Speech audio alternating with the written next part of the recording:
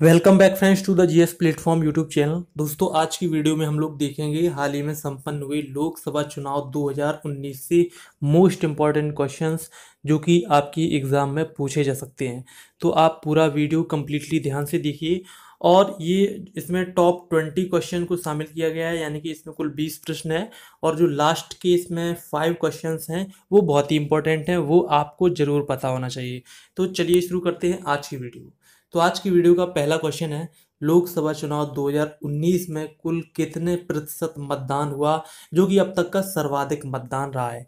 यानी कि आपसे क्वेश्चन में पूछा गया है कि जो वोटिंग परसेंटेज रहा है, वो ओवरऑल जो कितना रहा है, क्योंकि अब तक का ये सबसे अधिक है। तो यहाँ पर जो ऑप्शन है, इनमें जो राइट आंसर है sixty seven point one zero percent यानी कि सड़सठ दशमलव एक ज़ीरो परसेंट ये मतदान रहा है और ये अब तक का सबसे अधिक मतदान रहा है। मैं आपको बताना चाहूँगा कि पिछले चुनाव में, यानी कि जो वर्ष 2014 में लोकसभा चुनाव हुए थे, उसमें जो वोटिंग परसेंटेज थी, वो 66.40 परसेंट थी, जो कि इससे पहले वाले एनालिटिक्स को बताता है। ठीक है? तो ये आपका फ़र्स्ट क्वेश्चन कंप्लीट हुआ। नेक्स्ट क्वेश्चन देखते हैं क्वेश्चन नंबर सेकंड लोकसभा चुनाव 2019 में भारत का एकमात्र जिला जहाँ पर पूरी मतगणना महिलाओं ने कराई है। तो वो कौन सा जिला है, वो आपको बताना है। एग्ज़ाम में इस तरह के क्वेश्चंस पूछे जा सकते हैं। तो यहाँ पर जो ऑप्शन है, इनमें जो राइट आंसर है ऑप्शन ए हरदा। यानी कि हरदा ज़िले में जो वोटिंग की काउंटिंग हुई है, वो सभी महिला अधिकारियों के द्वारा कराई गई है, महिला कर्मचारियों के द्वारा कराई गई है और आपको ये पता होना चाहिए, ये जो ज़िला है वो किस राज्य में है? तो ये आपका है मध्य प्रदेश में राइट नेक्स्ट क्वेश्चन देखते हैं। क्वेश्चन नंबर थर्ड भारत के सबसे लंबे समय तक मुख्यमंत्री रहने वाले पवन कुमार चामलिंग किस राज्य से विधानसभा चुनाव हार गए हैं? यानी कि उनकी जो पार्टी है, वो अब इस अगले जो सेशन होगा, उसमें अब सरकार नहीं बना पाएगी तो वो आपको बताना है, वो किस राज्य से संबंधित हैं तो इसका आंसर हो जाएगा सिक्किम। ऑप्शन यहाँ पर बी सही होगा। और इससे पहले जो पवन कुमार चामलिंग से पहले जो ये रिकॉर्ड था, सबसे लंबे समय तक मुख्यमंत्री रहने का, वो पश्चिम बंगाल के मुख्यमंत्री के नाम था, लेकिन अब उनका ये जो रिकॉर्ड है, इसी समय तक थम चुका है। अब इसके बाद यहाँ पर एक अगली पार्टी की सरकार बनाएगी, ठीक है? नेक्स्ट क्वेश्चन है क्वेश्चन नंबर फोर ओडिशा के मुख्यमंत्री के रूप में शपथ कौन लेंगे? मैं आपको बता दूँ कि इस लोकसभा चुनाव में कुछ राज्यों में भी चुनाव संपन्न हुए हैं, यानी कि लोकसभा के साथ साथ राज्यों में भी चुनाव हुए हैं और उनमें से एक राज्य उड़ीसा भी है। तो वहाँ पर जिस पार्टी को बहुमत मिला है तो उस पार्टी से संबंधित जो नेता हैं, वो कौन है और वो मुख्यमंत्री के पद की शपथ लेंगे? तो इसका आंसर हो जाएगा नवीन पटनायक ऑप्शन यहाँ पर सी सही होगा, ठीक है? आप कमेंट में ज़रूर बताइएगा कि ओडिशा में जो विधानसभा की सीटें हैं, वो कितनी हैं? वो कमेंट बॉक्स में आप ज़रूर बताइए। नेक्स्ट क्वेश्चन है क्वेश्चन नंबर फाइव लोकसभा चुनाव 2019 के बाद दूसरी बार प्रधानमंत्री कौन बनेंगे? यानी कि जो 2019 का जो परिणाम रहा है, इसके आधार पर प्रधानमंत्री कौन बनेंगे और वो दूसरी बार बनेंगे? तो इसका आंसर तो आपको पता ही होगा। इसका आंसर है नरेंद्र मोदी। ऑप्शन यहाँ पर ए सही होगा, क्योंकि इसमें बीजेपी को पूर्ण बहुमत मिला हुआ है। ठीक है, नेक्स्ट क्वेश्चन है। क्वेश्चन नंबर सिक्स लोकसभा चुनाव 2019 में भारतीय जनता पार्टी ने कुल कितनी सीटें प्राप्त हुई हैं? यहाँ पर आपको ये क्वेश्चन पता ही होना चाहिए क्योंकि इससे रिलेटेड एग्ज़ाम में क्वेश्चन पूछा जा सकता है। तो यहाँ पर जो ऑप्शन है, इनमें जो राइट आंसर है, तीन सौ तीन सीटें यानी कि इसमें जो एनडीए है, जिसमें कि बीजेपी और उनके पूरे जो सहयोगी दल हैं, वो शामिल हैं, उनकी हम बात नहीं कर रहे हैं। इसमें केवल और केवल बीजेपी की बात कर रहे हैं तो उनको तीन सौ तीन सीटें प्राप्त हुई हैं। ये आप ध्यान रखेंगे। बहुत ही इंपॉर्टेंट क्वेश्चन है।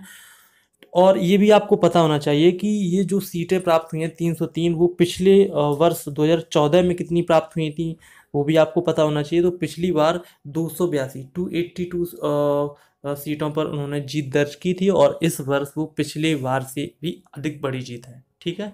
नेक्स्ट क्वेश्चन देखते हैं, क्वेश्चन नंबर सेवन। लोकसभा चुनाव 2019 में कांग्रेस को कुल कितनी सीटें प्राप्त हुई हैं? तो ये जो इसमें मुख्य विपक्षी दल है भारत में तो उसको कितनी सीटें प्राप्त हुई हैं ये भी आपको पता होना चाहिए। तो इसका आंसर हो जाएगा, यहाँ पर जो ऑप्शन आपके सामने दिए गए हैं तो इसका जो राइट आंसर है फिफ्टी टू ठीक है? यहाँ पर ऑप्शन आपका सी सही हो जाएगा। मैं आपको बताना चाहूँगा कि ये जो पचपन सीटें प्राप्त हुई बावन सीटें प्राप्त हुई हैं, ये 2019 के चुनाव में हैं। लेकिन अगर आपसे पूछा जाता है कि पिछले चुनाव में, यानी वर्ष 2014 के चुनाव में कितनी इसमें सीटें मिली थी तो वो मिली थी 44 यानी कि चवालीस सीटें। राइट?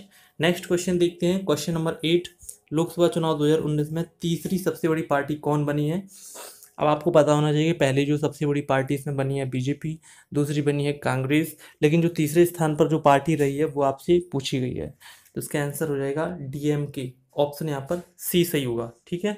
नेक्स्ट क्वेश्चन है क्वेश्चन नंबर नाइन विपक्ष का दर्जा पाने के लिए कुल कितने सांसद होना ज़रूरी है? यानी कि जो अपोजिशन का जो लीडर का जो पद होता है वो पाने के लिए जो भी विपक्षी पार्टी होगी उसको आ, कितने सांसद ज़रूरी है वो आपसे पूछा गया है। तो यहाँ पर जो आपके सामने ऑप्शन है इनमें जो राइट आंसर है फिफ्टी फाइव ऑप्शन यहाँ पर सी सही होगा ठीक है? अब यहाँ पर एक पॉइंट मैं आपको बताना चाहूँगा कि ये जो पचपन सीटें हैं, जो प्राप्त की गई हैं, जो भी इसमें होगा, वो किस आधार पर पचपन सीटें होना चाहिए, मैं आपको बता दूँ कि लोकसभा में जितनी सीटें होती हैं ओवरऑल पाँच सौ बावन सीटें होती हैं तो कुल सीटों का जो दस प्रतिशत होता है, टेन परसेंट, वो अगर कोई दल हासिल करता है तो ऐसी कंडीशन में उसको विपक्ष का दर्जा मिलता है तो इस समय पचपन सीट किसी की भी नहीं है तो इस बार भी ये पद नहीं मिल पाएगा, ठीक है? नेक्स्ट क्वेश्चन देखते हैं। क्वेश्चन नंबर टेन इस लोकसभा चुनाव के साथ साथ कुल कितने राज्यों में विधानसभा चुनाव भी संपन्न हुए हैं? यानी कि इस बार कितने ऐसे राज्य हैं जिनमें विधानसभा चुनाव भी हुए हैं?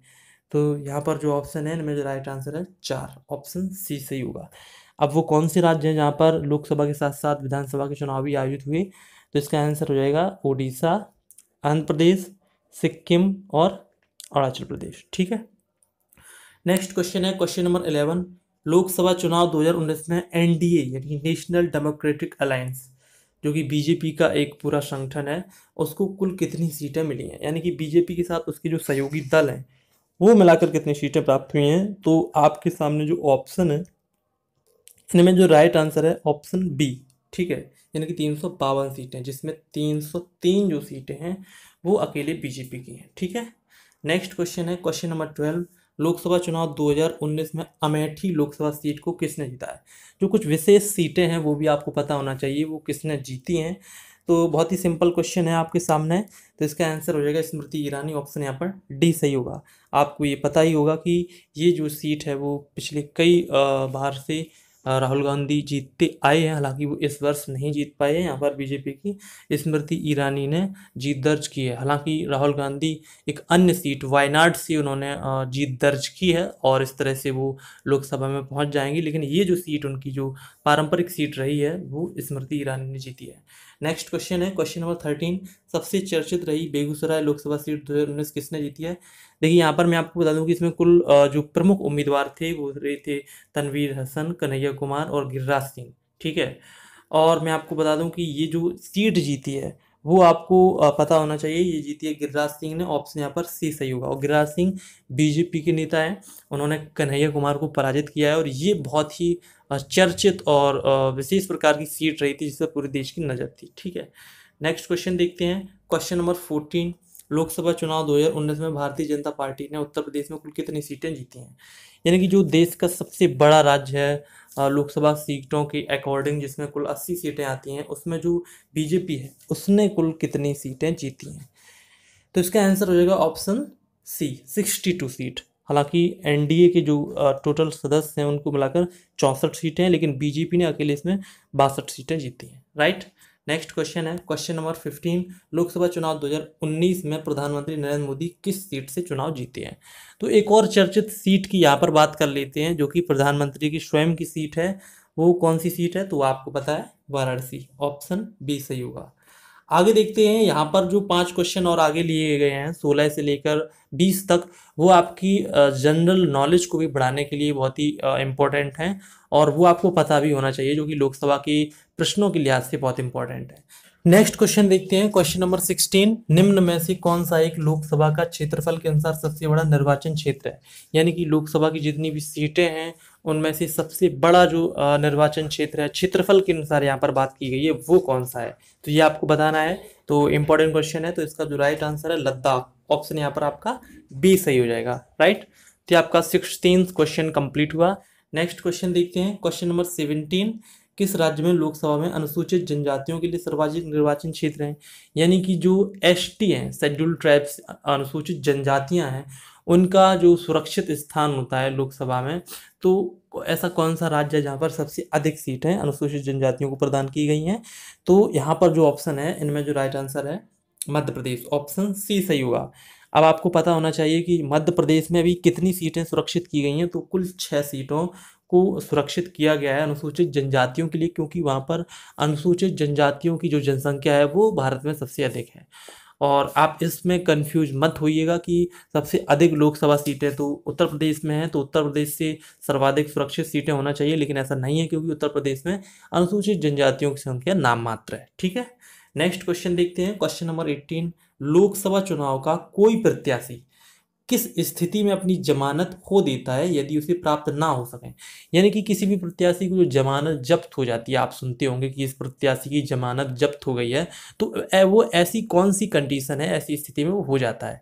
तो ये भी आपको पता होना चाहिए, लोकसभा से रिलेटेड क्वेश्चन है तो इस क्वेश्चन का जो राइट आंसर है वह है एक बट्टे छः यानी कि वैध मतों का अगर एक बट्टे छः पार्ट अगर वो नहीं पा पाता है तो वो जो है उसकी जमानत जब्त हो जाती है, ठीक है? यानी कि एक बटे छः मत आपको प्राप्त करने ही होंगे। अदरवाइज़ आपकी जो जमानत है जमानत राशि है वो आपकी जब्त कर ली जाएगी। ठीक है? नेक्स्ट क्वेश्चन देखते हैं। क्वेश्चन नंबर नाइनटीन लोकसभा चुनाव में निर्वाचित होने के लिए किसी व्यक्ति के लिए न्यूनतम आयु सीमा कितनी है? यानी कि अगर आप सांसद बनना चाहते हैं अगर आप चुनाव लड़ना चाहते हैं तो आपकी न्यूनतम उम्र कितनी होना चाहिए? इसमें बड़ा ही कन्फ्यूज़न रहता है। आ, कभी कभी इसका आंसर जो स्टूडेंट्स हैं वो अठारह वर्ष कर देते हैं। लेकिन जो इसका जो राइट आंसर है वो ऑप्शन सी पच्चीस वर्ष क्योंकि जितने भी पद है इनकी जो आयु सीमा है वो आपको पता होना चाहिए। राष्ट्रपति पद के लिए कितनी होना चाहिए उपराष्ट्रपति पद के लिए कितना होना चाहिए प्रधानमंत्री पद के लिए कितना होना चाहिए राज्यपाल के लिए कितना होना चाहिए तो ये आपको पता होना चाहिए ठीक है? नेक्स्ट क्वेश्चन देखते हैं क्वेश्चन नंबर ट्वेंटी लोकसभा में राज्यवार सीटों का आवंटन सन उन्नीस सौ इकहत्तर की इकहत्तर की जनगणना पर आधारित है। ये निर्धारण किस वर्ष तक यथावत रहेगा? यानी कि जो आ, सभी राज्यों में लोकसभा की जो सीटें हैं, उनका जो बंटवारा है, जैसे उत्तर प्रदेश में अस्सी सीटें हैं, ठीक है, दिल्ली में सात सीटें हैं तो इसका जो निर्धारण किया गया था, वो 1971 की जनगणना पर आधारित था और उस समय पर ये तय किया गया था कि ये कब तक वैध रहेगा। तो इसका आंसर हो जाएगा ऑप्शन बी, यानी कि वर्ष 2026 तक। यानी कि वर्ष 2026 तक इसी प्रकार से सीटों का निर्धारण रहेगा और इसके बाद इसका फिर से मूल्यांकन किया जाएगा और कुछ राज्यों में सीटें बढ़ाई घटाई जा सकती हैं। ठीक है तो ये आप ध्यान रखेंगे कि ये जो सीटें हैं जो कुल पाँच सौ बावन सीटें हैं, उनका निर्धारण वर्ष 2026 तक इसी प्रकार से रहेगा और इसके बाद इनका परिवर्तन किया जा सकता है। ठीक है? तो ये रहा आज का वीडियो जिसमें हम लोगों ने लोकसभा से रिलेटेड कुल 20 क्वेश्चन कवर किए, जिसमें 15 क्वेश्चन डायरेक्ट अभी करंट लोकसभा चुनाव से थे और बाकी के जो पाँच प्रश्न थे, वो आपके लोकसभा टॉपिक से related important G K question थे, जो आपने देखे हैं। तो अगर आपको वीडियो पसंद आए तो प्लीज़ वीडियो को कमेंट बॉक्स में बताइए आपको वीडियो कैसा लगा। साथ ही साथ ये भी बताइए कि आपको ये वीडियो कैसा लगा और अपने फ्रेंड्स को ये वीडियो शेयर ज़रूर कीजिए।